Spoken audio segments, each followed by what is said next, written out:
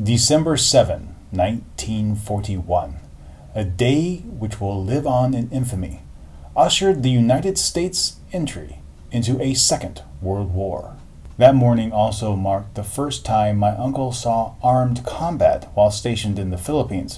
While ultimately he was captured on Bataan, those formative years shaped the rest of his life. Well, we came up here to do a filming session for I, and one of the things that I wasn't aware of, but this actually has a lot of history to it as it pertains to World War II.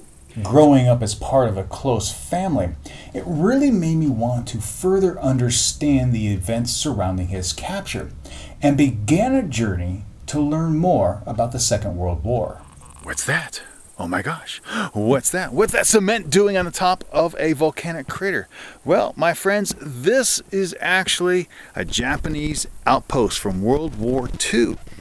Reading about these events only goes so far, but by visiting these historical sites, it allows you to put the events into context and begin to imagine what it would have been like to actually live through these times. Now this is a sunken bunker built into the Oreum, and we're going to go inside. From the historical plaque, it tells me that this was used as a sentry post, and they would climb through that area. You can see the ladder pillars there.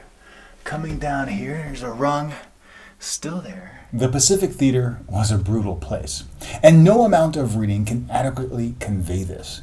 But by setting foot in these historic locations, you begin to conjure up images of how horrific the fighting was. And they would come in here.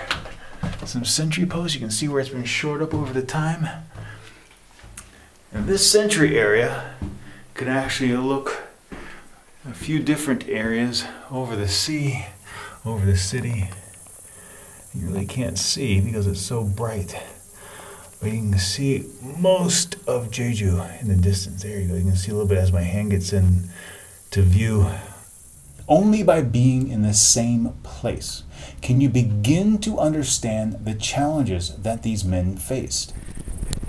And the second half of it is over here. Yeah, can't really get down there anymore. But this is the second, the second area where they climb down. As I go down the side of the Oreum, It's a very powerful lesson to learn. And if we aren't careful, we will repeat it. see the other outcropping from the structure.